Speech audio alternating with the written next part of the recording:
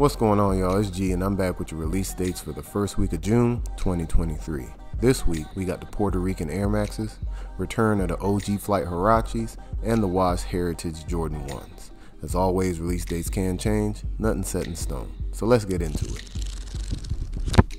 On June 6th, we got two colorways of the Puerto Rican Air Max 1s, Low Forces, Yellow Vomero 5s, Hide and Sneak Jordan 3s for the Jits, and two pair of Dunk Lows. On June 7th, the OG Flight Huaraches are coming back.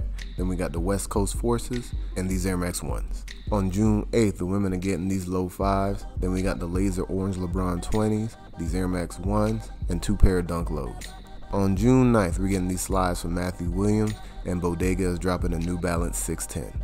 And on June 10th, we got these Jordan 1s, Jordan 2s, red and white Terminators, industrial blue up tempos, gorge green Janoskis, and five pair dunk lows. And those are your release dates for the first week of June 2023. Hope you hit on everything you want this week, and I'll be right here next week with the same info.